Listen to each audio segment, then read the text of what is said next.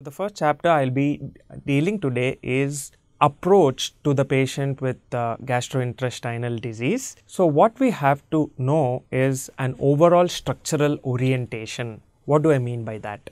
Now, overall structural orientation is a methodology by which we it will help us remember things systematically in our subject. So, how I deal with things is from mouth till anus that we picturize things and based on that mouth, stomach, esophagus, we have the small bowel, the large bowel and we also deal with the pancreas, the liver, the biliary system. So, overall these are all the things that in an order we evaluate. Then a role of peristalsis also plays a major role and most of the time the peristalsis occurs from in a proximal to distal uh, Uh, way. Then we also deal with pancreas and biliary system. So, this has to be kept in mind. The pancreatic juices contains enzymes for carbohydrates, proteins and fat digestion as well as bicarbonates to optimize the pH for enzyme activation. Now, the bile is also quite important. Now, the bile is secreted by the liver, stored in the gallbladder and is essential for fat digestion. Now, most of the nutrient absorption occurs in the small intestine.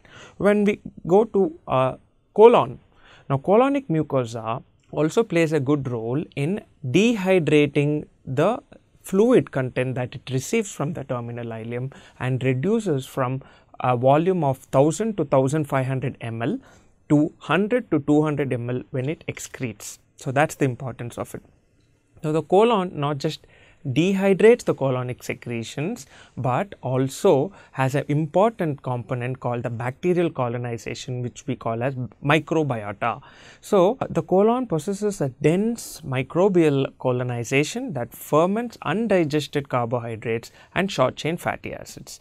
Now, these uh, gut microbiomes also uh, modulate immune and uh, physiological activities. Now, the colonic contractions exhibit a to and fro character which helps in promoting fecal desiccation. The proximal colon that is the ascending colon side mixes and absorbs fluid while the distal colon exhibits peristaltic uh, contractions and mass movement to expel the stools. Also important is mucosal immune mechanism which plays a role in few disorders like celiac disease or IBD etc. Now we should know that apart from the immune system we also have a thick neural connections that happens in the GI tract. These are the intrinsic nerves and the extrinsic nervous input. Now, all of this intrinsic and extrinsic nervous system actually in turn also connects with the brain with a to and fro uh, modulation between either of them. Now, this is called the brain gut axis. So, let us uh, now discuss the classification of GI diseases.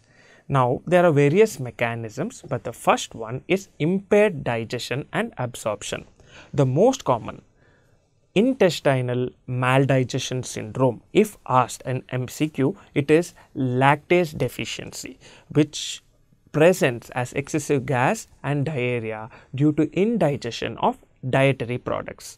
Now disorders where the, the involvement is more diffuse like celiac disease, bacterial overgrowth, infectious enteritis, Crohn's ileitis, radiation damage etc., cause a diffuse problems and presents with anemia, dehydration, electrolyte disorders and malnutrition.